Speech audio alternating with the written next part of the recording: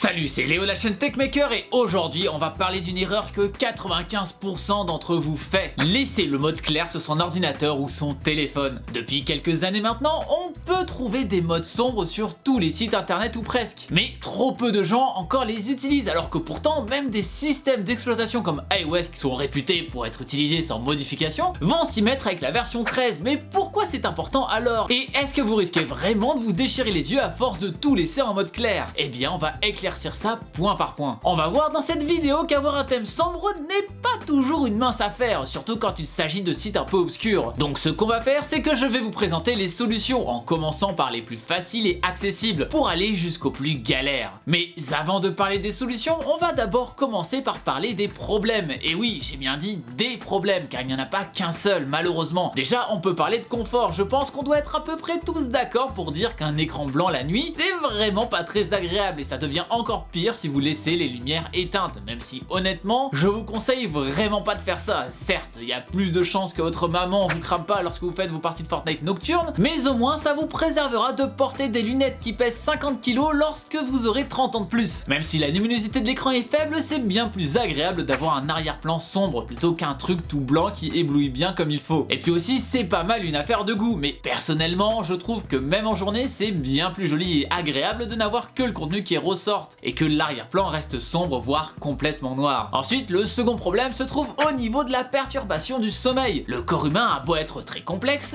certains aspects de son fonctionnement restent relativement primaires et c'est très bien comme ça dans la majorité des cas. Mais dans le cas du sommeil, c'est pas génial génial. L'évolution a amené l'humain à vivre principalement le jour et à dormir la nuit. Enfin, normalement, hein, si vous êtes pas trop bizarre. Mais en tout cas, bah, je pense rien vous apprendre là-dessus. Et comment on sait s'il fait jour ou s'il fait nuit? Et non, Corentin, on ne regarde pas l'heure on sort de sa grotte et s'il y a de la lumière, c'est qu'il fait jour, sinon c'est qu'il fait nuit. C'est peut-être pas la façon de voir la chose la plus efficace aujourd'hui, pourtant c'est en bonne partie comme ça qu'a fait le corps humain pour en arriver où il en est aujourd'hui. Donc c'est que ça doit pas être si mal finalement. Concrètement, ce qui entre principalement en jeu, c'est une hormone qu'on appelle la mélatonine ou encore l'hormone du soleil qui, quand elle est sécrétée, nous amène doucement vers le sommeil. Et quand est-ce qu'elle arrive? Eh bien quand il n'y a pas de lumière et il semblerait que la lumière qui freine le plus la sécrétion de cette hormone soit la lumière bleue.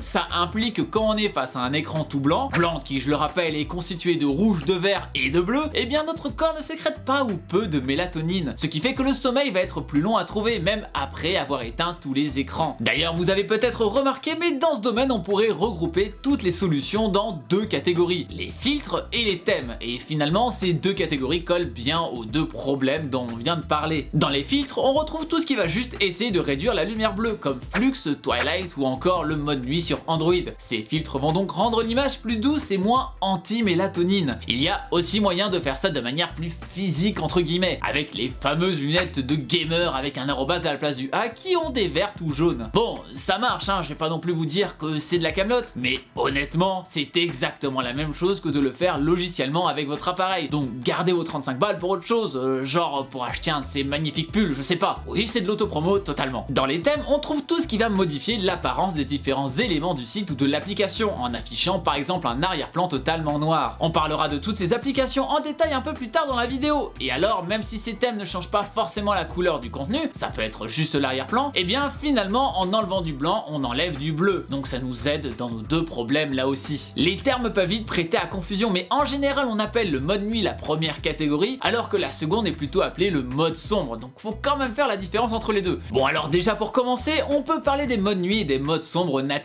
Sur Windows par exemple, il existe un mode nuit que vous pouvez activer en allant dans les paramètres d'affichage. Ce mode nuit va en fait agir comme un filtre qui réduira la lumière bleue émise par votre écran, et ce à des horaires définis. On peut même lui demander de se mettre en route au coucher du soleil et s'arrêter au lever. Mais c'est pas tout Depuis sa dernière grosse mise à jour, Windows nous propose carrément maintenant aussi un mode sombre qui s'applique à tous les éléments du système, y compris à l'explorateur de fichiers, enfin Du côté d'Android, on trouve aussi maintenant un mode nuit natif, et parfois même un mode sombre. Mais de ce côté, c'est un petit peu plus compliqué qu'avec Windows, car ici ça va aussi dépendre de si votre version d'Android a été modifiée par votre constructeur, comme c'est trop souvent le cas aujourd'hui malheureusement. Entre MIUI, OxygenOS, TouchWiz, WaterOS, on ne sait plus où donner de la tête. Mais dans tous les cas, cette fonctionnalité est beaucoup demandée, donc on la voit apparaître peu à peu un peu partout. Alors, si votre système ne propose pas encore ces fonctionnalités, vous devrez soit être patient, soit passer à une autre solution parmi celles dont on va parler un peu plus tard dans cette vidéo. Ce fameux mode sombre sur Android est en fait une sorte de thème plus ou moins global. Les différents menus et paramètres peuvent maintenant être affichés d'une couleur sombre, voire même complètement noire. Et ça c'est vraiment génial, d'autant plus si votre téléphone dispose d'un écran OLED si vous avez vu ma vidéo sur les écrans. Allez, je vous l'affiche en haut à droite pour les retardataires. Mais il reste tout de même quelques problèmes à cette solution. Le plus gros de ces problèmes est que certains éléments ne sont pas tout simplement pris en charge par ce fameux thème. Et parmi ces éléments, on trouve les notifications. Donc c'est bien, vous avez un bel écran bien sombre, mais au moment où votre mamie décidera de vous envoyer un message pour vous demander comment ça fonctionne internet, un beau rectangle tout blanc viendra aveugler vos yeux qui étaient maintenant habitués à l'obscurité. Et pour ça, il n'y a malheureusement pas de solution simple. Mais pas d'inquiétude, j'ai une solution à vous proposer un petit peu plus tard dans la vidéo. Oui, plus tard car c'est en fait la solution la plus compliquée de toutes celles dont je vais vous parler. Alors soyez patient. Bon, alors là on vient de parler des solutions natives qui s'appliquent à tout le système. Mais qu'en est-il des applications ou des sites web? Eh bien il y en a de plus en plus qui proposent un mode sombre de façon native aussi. YouTube, Reddit et même la suite Office les proposent maintenant grâce à un simple appui sur un bouton dans les paramètres. Il suffit d'appliquer un thème qui prendra plus soin de vos jolis yeux dans l'obscurité. Mais alors, si votre système ne prend pas en charge cette fonctionnalité, qu'est-ce que vous faites? Et puis d'ailleurs, peut-être qu'il la prend en charge mais que le résultat ne vous convient tout simplement pas. Eh bien à ce moment-là, vous devriez regarder du côté des applications qui appliquent un mode nuit à tout le système. Le but est toujours le même, mais ces applications sont parfois bien plus réglables que les solutions natives. Sur Windows par exemple, la solution la plus connue s'appelle Flux ou f.lux. On peut y paramétrer des heures de fonctionnement ou bien carrément lui donner notre position afin qu'il puisse déterminer les heures de lever et de coucher du soleil afin de s'y accorder exactement comme celui intégré à Windows. On trouve une application qui est capable de plus ou moins la même chose sur Android et cette application s'appelle Twilight, comme le film avec les vampires et les émaux qui arrêtent pas de pleurer. Bon, mais sur un téléphone, avoir moins de lumière bleue c'est une chose, mais parfois le problème est juste qu'il y a trop de lumière, bleu ou pas d'ailleurs. Après, ça c'est selon les préférences de chacun, mais personnellement, parmi tous les téléphones que j'ai eu, j'ai presque toujours trouvé la luminosité minimale toujours trop élevée, ce qui me pose des problèmes quand j'utilise mon téléphone dans l'obscurité la plus totale. Je suis donc parfois obligé d'utiliser des applications tierces juste pour pouvoir baisser la luminosité globale de l'écran. Alors ça fonctionne, hein, mais c'est clairement pas parfait. Par exemple, avec l'une des applications les plus populaires, Screen Filter, eh bien ça va agir comme un filtre appliqué à l'écran. Mais du point de vue du système, c'est en fait un simple overlay plus ou moins opaque. Le problème, c'est qu'il peut y avoir plusieurs overlays et donc on ne peut pas gérer l'ordre dans lequel ils sont appliqués. Dans le cas de Screen Filter par exemple, je sais qu'il est appliqué avant l'overlay de Messenger qui permet d'avoir les bulles de discussion, ce qui fait que tout l'écran est assombri, sauf ces fameuses bulles de discussion. Donc euh, pas génial et ça perd un petit peu de l'intérêt de base, quoi, de justement rendre tout le système plus sombre. En plus, ces overlays ne s'appliquent pas à certains éléments du système, comme les boutons de navigation situés sur le bas de l'écran, donc eux aussi restent allumés à pleine luminosité. Les extensions. Ok, alors là on commence à passer du côté un petit peu plus galère. On va chercher à installer une extension afin de rendre sombre un site qui ne l'est pas à la base. Vous allez me dire, installer une extension, t'inquiète Léo, ça je faire, et je veux bien vous croire, mais le problème n'est pas là. Déjà, il faut qu'il y ait une extension qui existe. Ensuite, il faut que cette extension soit efficace et qu'elle soit maintenue. Bah oui, parce que sinon, à la moindre mise à jour du site, ça risque de tout casser. Et puis, c'est aussi comme ça qu'on se retrouve avec 15 000 extensions sur son navigateur, et donc ça se met à ramer comme pas possible. Mais bon, je vais quand même vous parler des principales extensions que j'utilise pour sauver mes yeux. Alors, déjà, la plus polyvalente est sûrement Stylish. Cette extension n'est pas particulièrement faite pour assombrir les sites, mais plutôt pour y appliquer des thèmes, quels qu'ils soient. Après, c'est la communauté qui va créer plein de thèmes et avec un peu de chance, quelqu'un en aura créé un qui ressemble exactement à ce que vous voulez. Je l'utilise par exemple pour afficher Google en sombre ou encore Facebook. Sinon, vous pouvez essayer l'extension Dark Reader qui fait ça un peu plus à l'aveugle dans le sens où ça n'est pas un thème créé spécifiquement pour tel ou tel site, mais plutôt un ensemble de solutions qu'on peut